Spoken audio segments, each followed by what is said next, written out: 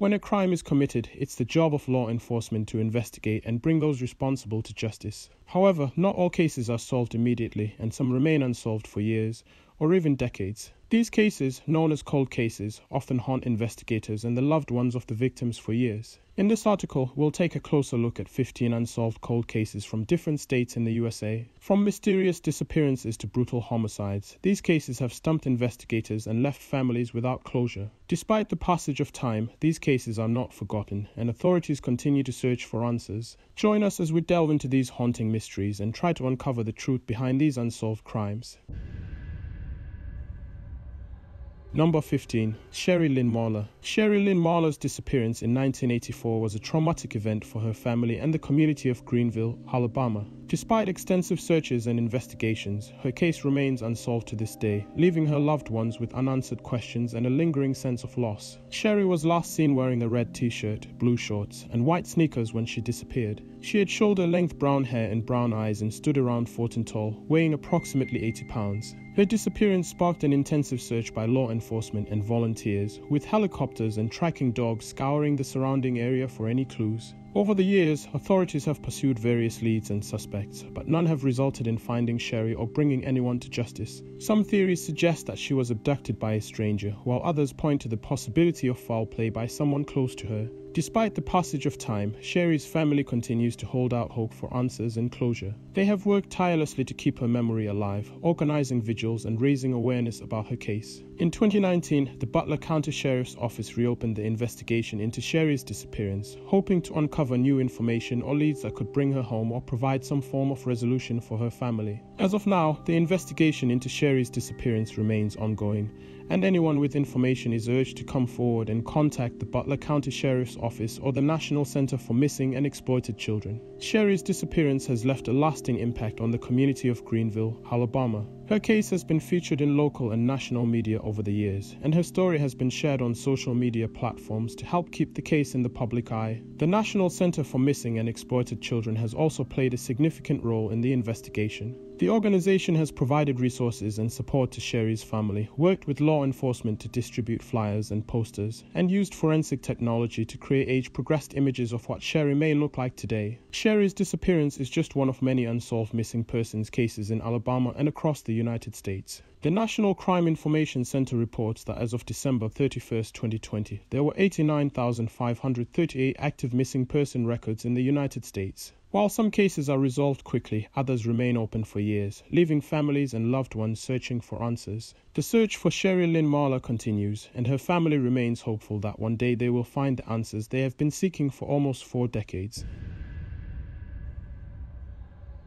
Number 14. The Investor. The murders on the fishing boat Investor in Craig, Alaska in 1982 shocked the community and captured national attention. The tragic incident occurred when the boat was docked in the town's harbor and the passengers were preparing for a new fishing season. The eight victims included the boat's owner, Mark Coulthurst, his pregnant wife Irene, their two children, Kimberly and John, and four teenage deckhands. They were all shot to death in their sleep, with the killer using a high powered rifle to carry out the heinous act. After the murders, the killer fled the scene and a massive manhunt ensued. Authorities quickly focused their investigation on a suspect, John Peel, who was the investor's former skipper and an ex convict with a history of violence. Peel had a financial dispute with Coulthurst, and investigators believed he carried out the killings in a fit of rage. However, despite mounting evidence against Peel, including a confession he later recanted, he was ultimately acquitted of the murders. The case remains unsolved to this day, leaving the families of the victims without closure and the community still grappling with the tragedy that shook them to their core. The investor tragedy highlighted the harsh realities of life in Alaska's fishing industry, where isolated communities and dangerous working conditions can create a breeding ground for violence and crime. The incident also underscored the importance of effective law enforcement in remote areas, where investigations can be particularly challenging and time consuming. Despite the passage of time, the memory of the investor tragedy lives on in the hearts of the victims' families and the Alaska community as a whole, a haunting reminder of the fragility of life and the devastating consequences of senseless violence. The investor tragedy also had a lasting impact on the fishing industry in Alaska. The incident raised awareness about the dangers and risks associated with the industry, particularly for small scale fishing operations. It highlighted the need for better safety regulations and security measures to protect fishermen and their families from violence and other hazards. In response to the tragedy, Alaska implemented new laws and regulations aimed at improving safety and security in the fishing industry. These included requirements for emergency communication and navigation systems, mandatory safety training for crew members, and increased law enforcement presence in remote fishing communities. The tragedy also inspired a renewed sense of community and resilience among the people of Craig and other fishing towns in Alaska. In the aftermath of the incident, locals banded together to support the victims' families and each other, demonstrating the strong bonds and spirit of solidarity that are often a hallmark of rural communities. Despite the passage of time, the investor tragedy continues to be a subject of interest and fascination for many, with numerous books, articles, and documentaries exploring the case and its implications.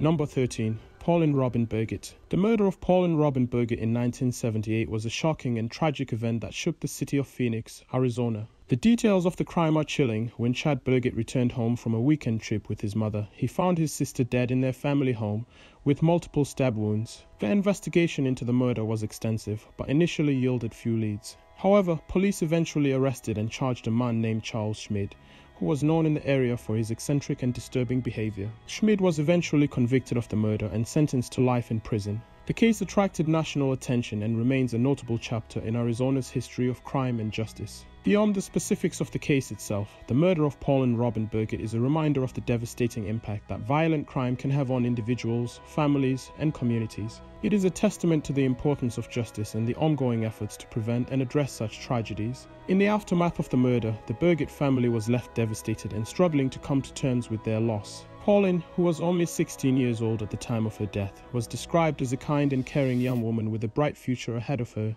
Her tragic murder cut short her life and left her family and friends grappling with grief and trauma. The case also highlighted the importance of community support and the role of law enforcement in solving violent crimes. The investigation into Pauline's murder was a joint effort between local and state law enforcement agencies who worked tirelessly to gather evidence and identify a suspect. Their dedication and perseverance eventually led to the arrest and conviction of Charles Schmid, bringing a sense of closure and justice to the Burgett family and the wider community. Today, the memory of Pauline Robin Burgett lives on through the continued efforts of law enforcement and advocates for victims of violent crime. The tragedy of her death serves as a reminder of the need for ongoing efforts to prevent and address such crimes and to support the victims and families affected by them.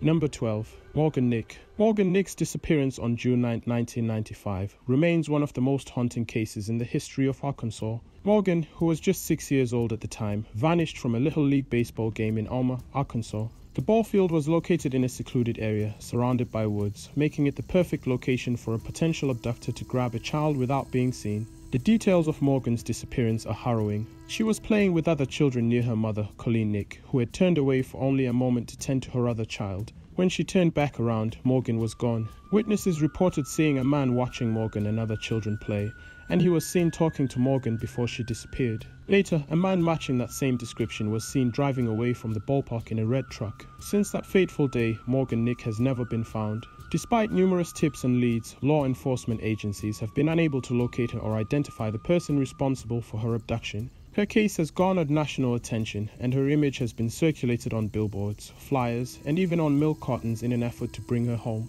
The investigation into Morgan Nick's disappearance has been ongoing for over 25 years. The case has been examined by multiple law enforcement agencies and the FBI, but unfortunately, no breakthrough has been made in the case. Morgan's mother, Colleen Nick, has dedicated her life to finding her daughter and has even helped to create the Morgan Nick Foundation, which works to prevent child abductions and support the families of missing children. The disappearance of Morgan Nick is a heartbreaking reminder of the dangers that children face in our society. It is also a testament to the resilience of the human spirit, as the Nick family and law enforcement agencies have never given up hope that she will be found. As of now, the case remains unsolved, and Morgan Nick's family and the community continue to pray for answers and for her safe return. Over the years, there have been a few promising leads in the case of Morgan Nick's disappearance. In 2002, a convicted child killer named Tonya Lee Slatton confessed to abducting and killing Morgan, but later recanted her confession. She remains a person of interest in the case, but her involvement has not been definitively proven. In 2010, investigators announced a new lead in the case. They had received a tip about a possible suspect who had been in the area at the time of Morgan's disappearance.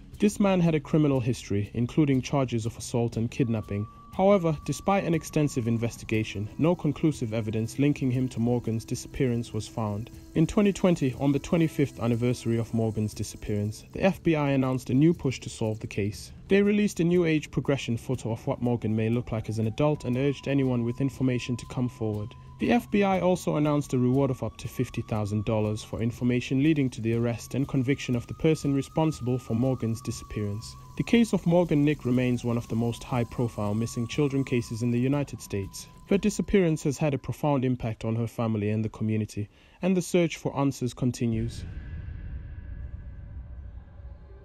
Number 11. The Zodiac Killer. The Zodiac Killer is one of the most notorious serial killers in American history, and his reign of terror in California between the 1960s and 1970s left an indelible mark on the state's psyche. Despite a massive manhunt and investigation involving numerous law enforcement agencies, the Zodiac killer was never caught, and his true identity remains a mystery to this day. The first known attack attributed to the Zodiac killer occurred on December 20, 1968, when he shot and killed two high school students in Benicia, California. Over the next few years, he would go on to commit a string of murders and attempted murders in Northern California, including the shooting of a young couple at Lake Herman Road in 1969 and the brutal stabbing of a couple at Lake Berryessa in 1970. Perhaps what made the Zodiac killer so terrifying was his penchant for taunting the police and the public. He would send cryptic messages to local newspapers, often written in a strange code that took investigators months to decipher. In one letter, he claimed responsibility for killing a cab driver and included a piece of the victim's bloody shirt as proof.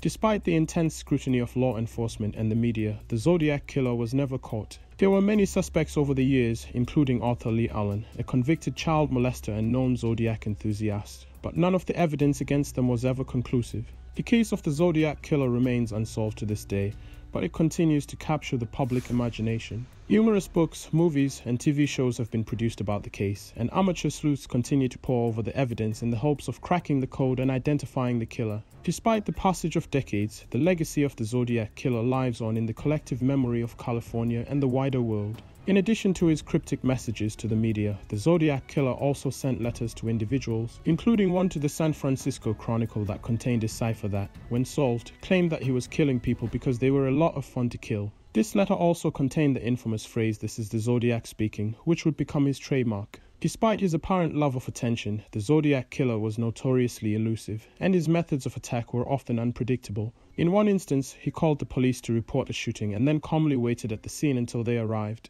In another, he approached a couple on a secluded beach and shot them both at close range. The Zodiac killer's reign of terror came to an abrupt halt in the mid 1970s, and he was never heard from again. Although there were occasional sightings and potential suspects over the years, the case remains officially unsolved. The legacy of the Zodiac killer is complex and multifaceted. On the one hand, he is remembered as a cold blooded killer who terrorized Northern California for years. On the other hand, his notoriety has also elevated him to the status of a cultural icon, inspiring countless works of fiction and true crime documentaries. Despite the passage of time, the hunt for the Zodiac killer continues to captivate the public imagination. Some investigators believe that advances in DNA testing may one day help solve the case, while others argue that the killer's identity may remain a mystery forever.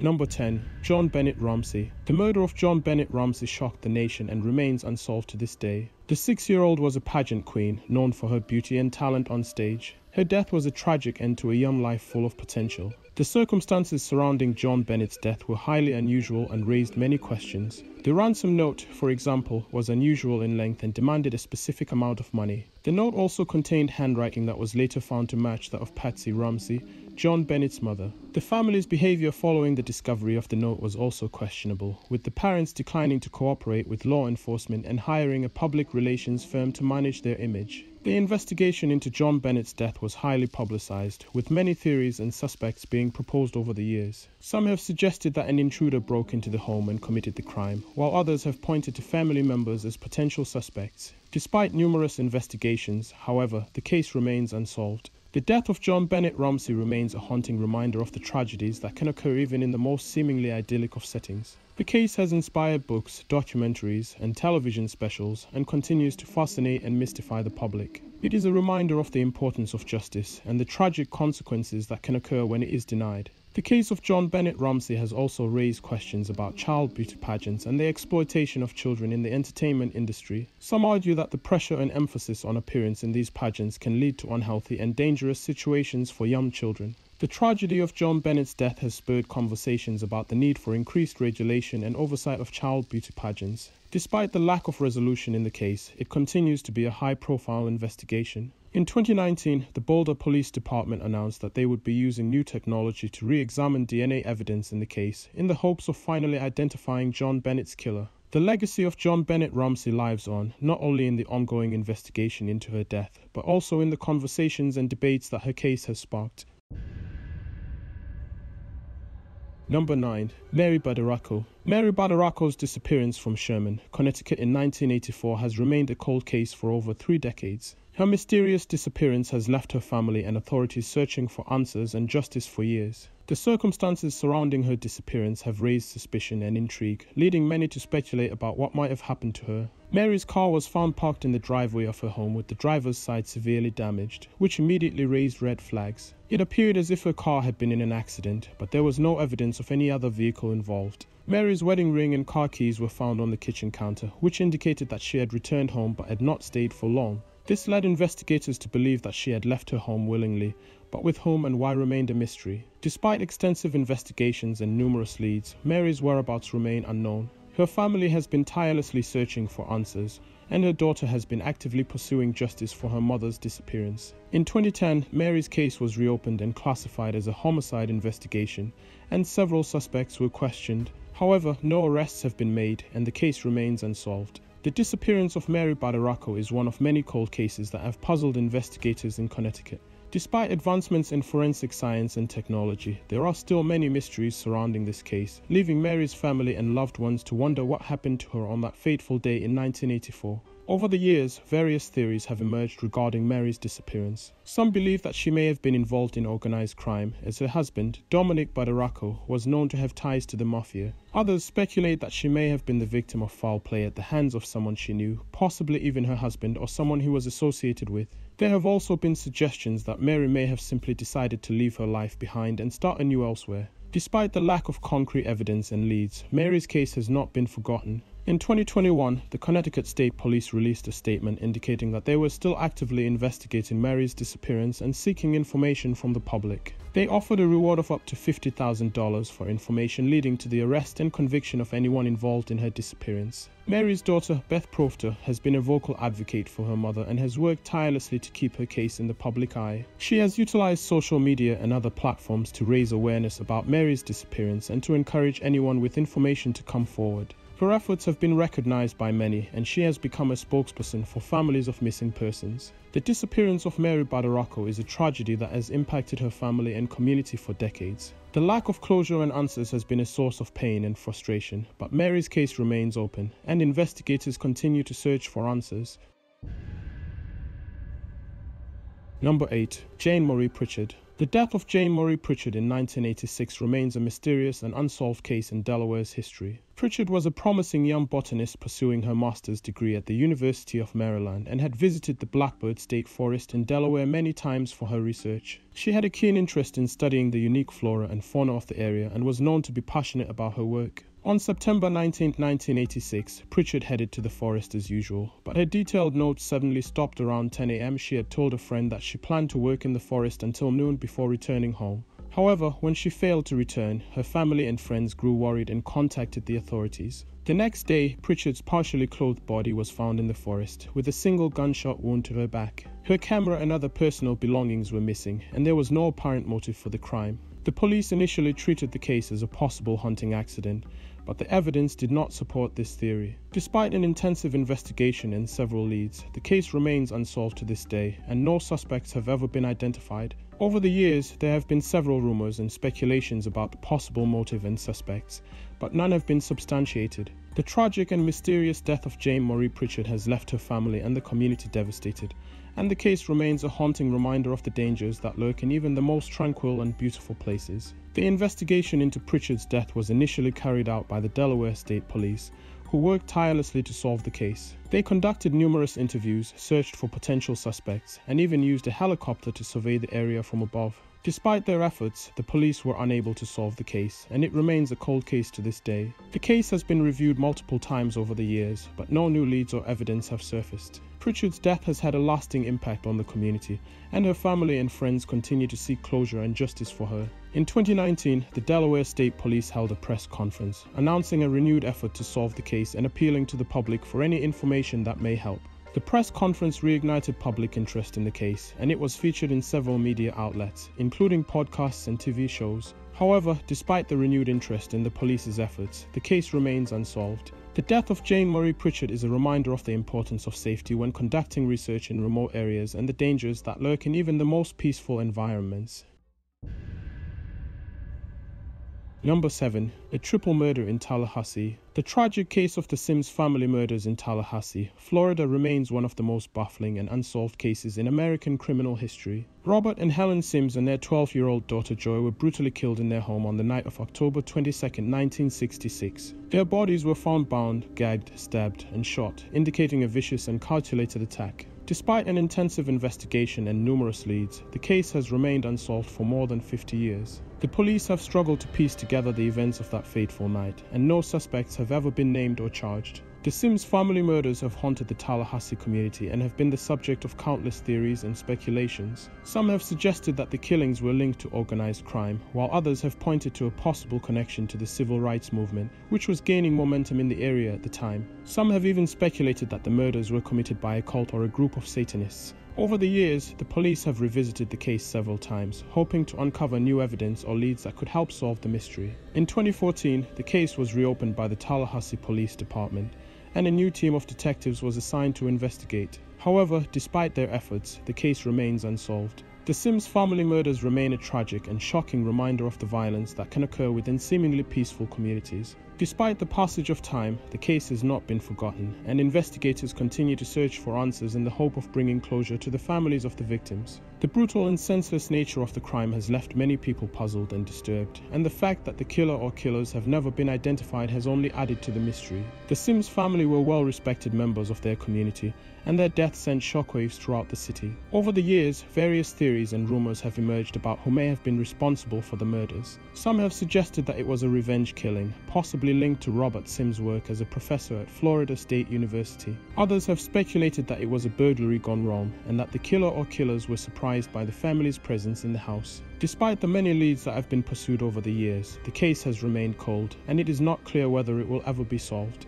However, investigators have not given up hope, and new technologies and forensic techniques are constantly being developed that could one day help to crack the case. In the meantime, the memory of the Sims family continues to be honored by their community, and their tragic deaths serve as a reminder of the need for justice and the importance of finding closure for the families of victims of violent crimes. Number 6. Vanessa Honey Malone. Vanessa Honey Malone's life was tragically cut short in 2012 when she was shot while visiting her friend's apartment in Stone Mountain, Georgia. At just 18 years old, Honey had her whole life ahead of her, but it was taken away in a senseless act of violence. According to reports, Honey had spent the day at work before telling her mother, Flora, that she was going out for the evening. However, not long after, Flora heard gunshots coming from a neighboring apartment complex and tried calling Honey to check on her. Sadly, Honey didn't answer the phone. When Flora arrived at the scene, she found that her daughter had been shot and was lying on the ground. Honey was rushed to the hospital, but she died from her injuries soon after. The shooting was a devastating blow to Honey's family and friends, who were left to grapple with the senseless loss of such a young and promising life. It also sparked outrage in the community and brought attention to the issue of gun violence in Georgia. Despite extensive investigations by local authorities, the person or persons responsible for Honey's death have not been identified or brought to justice. This has only added to the pain and frustration felt by her loved ones, who continue to seek answers and closure.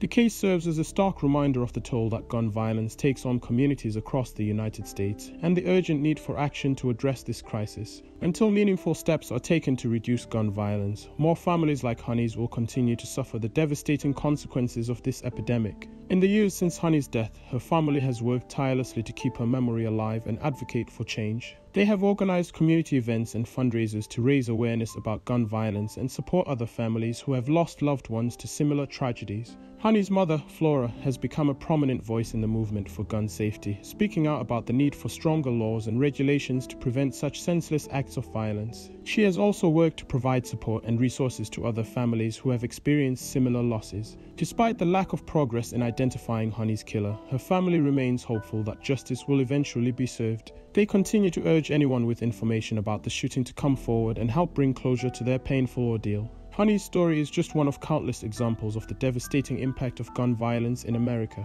While the issue is complex and multifaceted, it is clear that more must be done to address it. This includes not only efforts to reduce the number of guns in circulation, but also measures to improve mental health services, address systemic inequalities, and promote a culture of peace and nonviolence. As we work toward a safer and more just society, we must not forget the countless lives that have been lost to gun violence, including Honey Malone and so many other young people whose futures were cut tragically short.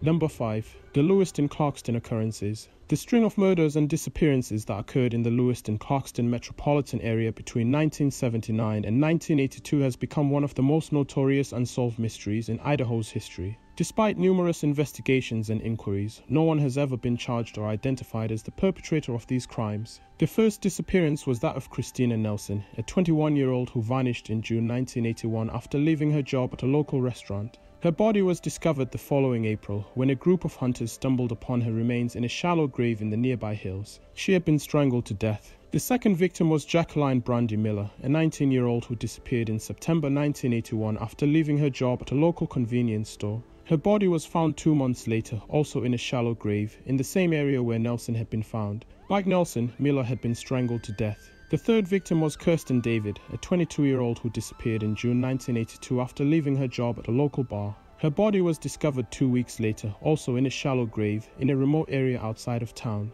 David had been beaten and strangled to death. The fourth victim was Stephen Pearsall, a 35 year old who disappeared in May 1982 after leaving his girlfriend's house. His car was found abandoned a few days later, but he was never seen again. The fifth victim was Christina White, a 12 year old who disappeared in April 1982 while walking home from a friend's house. She was last seen by a witness who reported seeing her speaking to a man in a light colored van. Despite an extensive search, White was never found. Although the investigations into these murders and disappearances have continued for decades, no one has ever been charged or convicted for the crimes. The case has been the subject of numerous books, documentaries, and podcasts and has garnered national attention. It remains an open case, and investigators continue to follow up on leads and new information in the hopes of solving this mystery and bringing closure to the families of the victims. Over the years, a number of suspects have emerged in connection with the Idaho murders, but none have ever been definitively linked to the crimes. One person of interest was a man named Richard Caruso, who was known to have been in the area at the time of the murders and had a history of violent behavior. However, Caruso died in 1983 before he could be questioned by investigators. Another suspect was a man named David Stone, who was arrested in 1987 in connection with the murder of a woman in Colorado. Stone had a criminal record that included violence against women, and he had been living in the Lewiston Clarkston area at the time of the murders. However, he was eventually cleared of any involvement in the Idaho cases. In recent years, there have been renewed efforts to solve the Idaho murders using advanced forensic techniques and DNA analysis. In 2019, investigators announced that they had identified a suspect in the case through genetic genealogy, a method that involves using DNA from crime scenes to create a family tree that can lead to the identification of a suspect. However, the identity of the suspect has not been publicly disclosed, and it is not clear if they will ever be brought to justice. The Idaho murders have had a profound impact on the communities of Lewiston and Clarkston, and on the families of the victims. The case has become a symbol of the enduring pain and frustration that comes with unsolved crimes, and has spurred efforts to improve law enforcement practices and victim support services. Number 4. Jacqueline Dowaliby. Jacqueline Dowaliby was kidnapped in 1988 and her body was found a week later. The kidnapping and murder of Jacqueline Dowaliby was a tragic and highly publicized case that rocked the small town of Midlothian, Illinois in 1988. Jacqueline was only seven years old at the time of her abduction, and her death deeply impacted her family, friends, and the local community. The night of the abduction, Jacqueline's parents awoke to find her missing from her bedroom. They immediately called the police, who launched an intensive search for the young girl. Sadly, a week later, her body was discovered in Blue Island, a neighboring town, with a rope from the family's garage tied around her neck. The discovery of Jacqueline's body was devastating to her family and the community, who were hoping for a happy ending to the search. The investigation into Jacqueline's abduction and murder was extensive, and many suspects were considered and ruled out. However, the case took a dramatic turn when Jacqueline's father, David Dowaliby, was charged with her murder. The prosecution alleged that he had killed his daughter to cover up her assault. However, the evidence against him was largely circumstantial, and many people in the community believed that he was innocent. Despite the doubts about David's guilt, he was convicted and sentenced to life in prison for Jacqueline's murder. However, he maintained his innocence throughout the trial and appeals process. In 1992, his conviction was overturned by an appeals court, citing insufficient evidence. The case was retried in 1994, but the jury was unable to reach a verdict, and David was eventually acquitted. The kidnapping and murder of Jacqueline Dower remains a haunting reminder of the fragility of life and the devastating impact of violent crime on families and communities. While killer has never been caught, her memory lives on, and her family and friends continue to seek justice for her tragic death. Despite the acquittal of Jacqueline's father, the case continued to generate controversy and speculation. Some people still believed that David was responsible for his daughter's death, while others felt that the police and prosecutors had mishandled the investigation and unfairly targeted an innocent man. Over the years, several theories and suspects have emerged in the case, but none have been definitively proven. In 2013, the case was reopened by the Midlothian Police Department, who hoped that advances in forensic technology might provide new leads. However, as of today, the case remains unsolved, and Jacqueline's killer is still at large. Despite the lack of resolution in the case, the memory of Jacqueline Dowaliby continues to inspire hope and perseverance in those who remember her. Her family has established the Jacqueline Dowaliby Foundation, which works to support families of missing and exploited children and promote child safety. Number 3. LaSalle Street Murders the LaSalle Street murders are still unsolved more than 40 years later. The LaSalle Street murders case has remained one of the most infamous unsolved crimes in Indiana for over four decades. On December 1, 1971, the bodies of three men were discovered inside a house located at 1318 North LaSalle Street in Indianapolis. The victims, identified as 28 year old Eugene Anderson, 28 year old David Smith, and 24 year old William Simmons, had all been shot to death. The police investigation into the murders was extensive and involved interviewing numerous witnesses and collecting physical evidence from the crime scene. However, despite the efforts of law enforcement officials, the killer was never identified or apprehended. One of the primary challenges faced by investigators in the case was the large number of potential suspects. According to Captain Robert Snow of the Indianapolis Police Department, there were simply too many individuals who could have been responsible for the murders, making it difficult to narrow down the list of possible suspects. Over the years, various theories have been proposed about what may have happened on that fateful night in December 1971. Some have speculated that the killings were related to drug trafficking, while others have suggested that they may have been linked to organized crime. However, without any concrete evidence to support these theories, they remain mere conjectures. Despite the passage of time, the case has not been forgotten, and law enforcement officials continue to search for any new leads or information that may help solve the crime. In recent years, advances in forensic technology have allowed investigators to re examine the physical evidence collected from the crime scene, and there remains a glimmer of hope that the case may one day be solved. However, until that day comes, the LaSalle Street murders will continue to stand as a haunting reminder of a brutal crime that has gone unpunished for more than 40 years. The impact of the LaSalle Street murders on the local community and the families of the victims has been significant. The brutal nature of the killings and the fact that the perpetrator has never been brought to justice has left a sense of unease and fear in the minds of many Indianapolis residents. The families of the victims have had to live with the pain of losing their loved ones in such a violent manner and without any closure. Over the years, there have been several attempts to reinvigorate the investigation into the murders.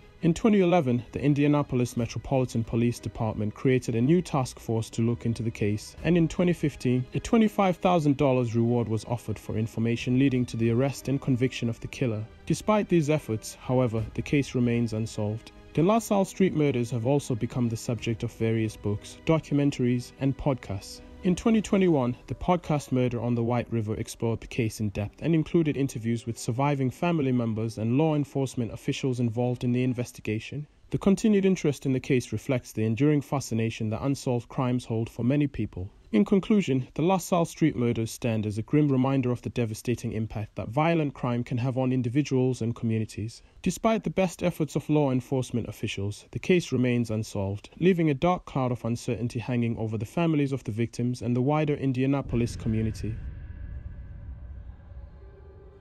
Number 2. Stephen and Melissa. The double homicide of Stephen Fisher and Melissa Gregory in 1983 is one of the most notorious unsolved murder cases in Iowa's history. The brutal crime shocked the small community of Newton, and despite numerous investigations and extensive media coverage, the killer has never been brought to justice. On March 3, 1983, Stephen Fisher and Melissa Gregory were brutally beaten to death with a blunt object on a ranch northwest of Newton, Iowa. The couple was found in the basement of the ranch, where they had been staying with friends. The murder weapon, believed to be a pipe wrench, was found at the scene, but no DNA or other physical evidence was found. The investigation into the double homicide was one of the largest in Iowa's history, with hundreds of interviews and leads pursued. Despite the efforts of law enforcement, the case went cold for more than 20 years. However, in 2007, a break in the case led to the arrest of Fisher's estranged wife, Terry Supino. Supino, who had been living in Arizona at the time of the murders, was charged with first degree murder in 2007. The prosecution alleged that Supino had hired someone to kill Fisher because she was unhappy with their marriage and wanted to collect on his life insurance policy. However, the trial ended in a mistrial in 2009 when the jury was unable to reach a verdict. Supino was retried in 2015, and this time the jury found her not guilty. The defense argued that Supino had nothing to do with the murders and that the evidence against her was circumstantial.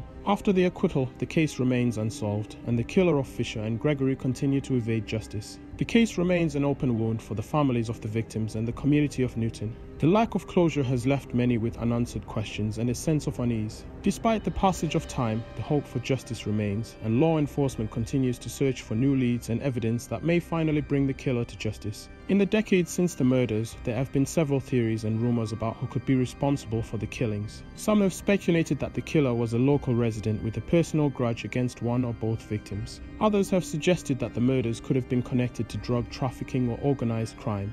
The case has also been the subject of numerous books, documentaries, and podcasts, as well as a segment on the TV series Unsolved Mysteries. These efforts have helped to keep the case in the public eye and generate new leads and tips for law enforcement.